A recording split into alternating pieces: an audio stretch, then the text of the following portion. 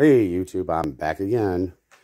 Alright, so I'm not going to really have a chance to do this yet, but over the weekend, I installed a camera arm.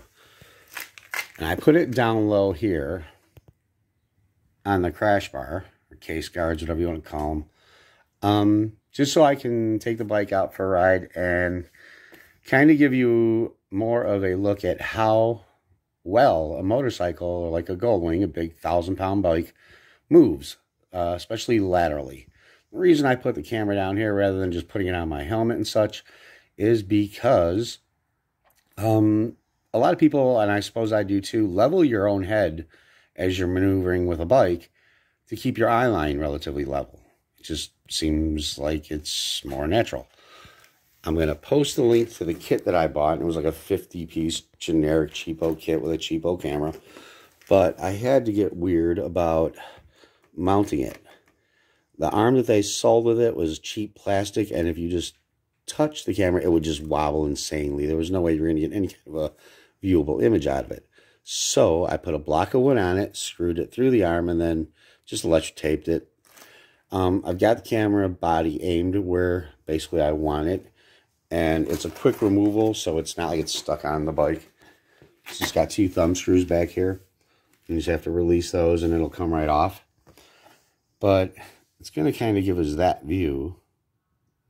So hopefully it comes out well but it's forecast to rain for the next couple of days and I'm not going to get a chance to uh, take the bike out at all.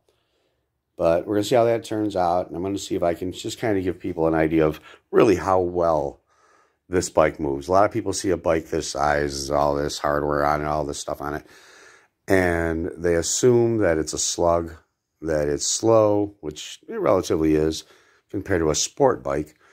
But a lot of people make the mistake of thinking that Goldwings don't move well, which they do.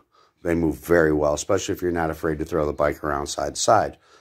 Um, this, again, is my third Goldwing. I've been riding it for like 20 years now, and I have no issues with just slaloming um, side to side laterally inside of a, uh, a lane or between lanes, uh, especially if there's nobody around.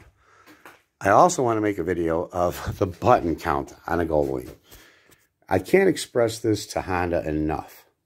And I don't think people actually voice that, but I'm going to make a video of an actual count of on a 1500 like this one, how many buttons come factory in the cockpit or on the dashboard, whatever you call it. I know it used to be called the cockpit. I don't know if it still is now, but I'm going to probably make that video next. And uh, we'll see you soon. Thanks for watching. Those of you who come back and those of you who have subscribed, thank you. Appreciate it. Take care, and uh, we'll talk to you soon.